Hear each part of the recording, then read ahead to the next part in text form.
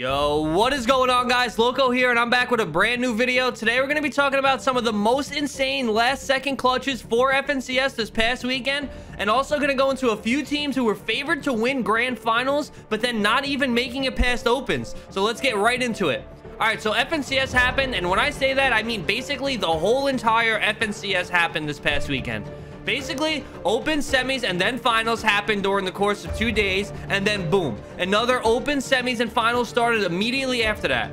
In my opinion, this is insanely chaotic, and if you're a player, you are playing long days consistently for the past week, which easily gets overwhelming and stressful.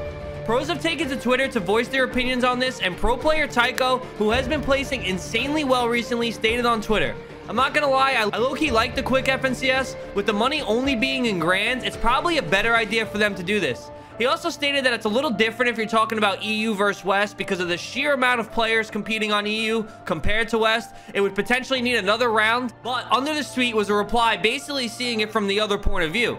Diego Plays replied and said, more weeks equals less RNG, equals more skill, and there's more time to improve as well and learn from mistakes, but qualifiers are only three days and so many good players didn't qual.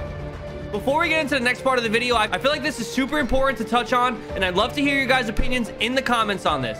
Basically, Tycho, who's been placing really well all season, thinks that it's good to get over all these open qualifiers out of the way in one weekend, since the qualifiers don't give a prize pool anyway. Why should we waste four weeks of long tourneys with absolutely zero prize pool until the end when we could get it done in four days instead?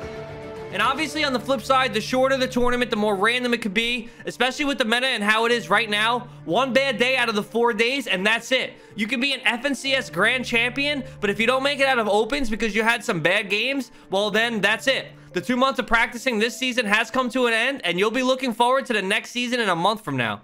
Speaking of FNCS Grand Champions, Bugha posted this on Twitter claiming Chonkers in Grand Finals, but it didn't go down as easy as it seems. Fortnite's been having an insane issue of players loading into grand finals, and if you haven't guessed already, it happened to Bugha just moments before his final two games. It happened on EU a bit over the weekend, but nothing major. However, Bugha was in fourth place going into the fifth game. Top 8 automatically qualify for grand finals, so surely one good game out of Bugha would auto-qual him and Miro, except it didn't happen like that. While loading into his fifth game, Bugha got disconnected from the lobby along with 13 other players bunch of people in the top spot didn't load into the game, which just destroys their chances for the top 8 spot. Players were in an outrage and most deleted their tweets, however, they were absolutely begging for a restart of the game. If only one or two people didn't connect, then whatever, but when almost 15% of the lobby didn't load in during finals, it should be an automatic restart, hands down, and I think that Epic handled it pretty poorly. Clix posted this video on Twitter if you want to see what it looks like from his point of view.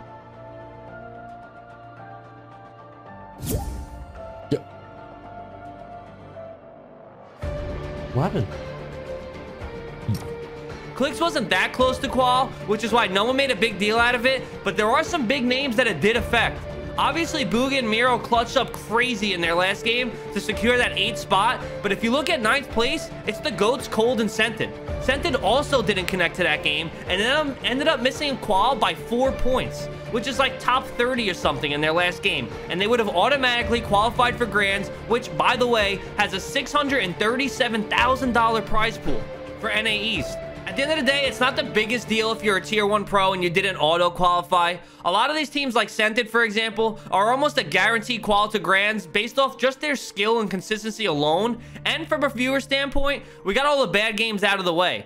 Heats and grand finals are going to be extremely entertaining to spectate and follow along for sure, but there are some big names missing due to everything that we've talked about so far.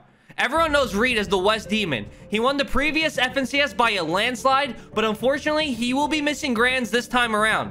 He tweeted last night saying, praying for Stingers to be gone next season.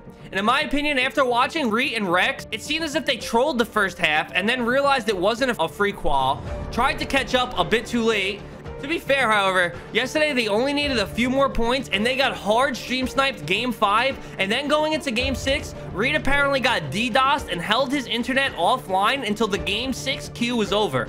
I honestly don't know what to say about that, considering that's the weirdest thing I've ever heard someone do. Imagine stream sniping someone, holding them in zone in FNCS, and then go to hit them offline in the next game. Super strange if you ask me. Overall, I thought it was pretty interesting to watch. I even played it myself. I got top 175 in semifinals this weekend, so no grand finals for me, but it was a ton of fun streaming it overall. I think before any more FNCS matches are played, Epic Games really needs to figure out this Q glitch because it can potentially mess up life-changing money for someone or even multiple people.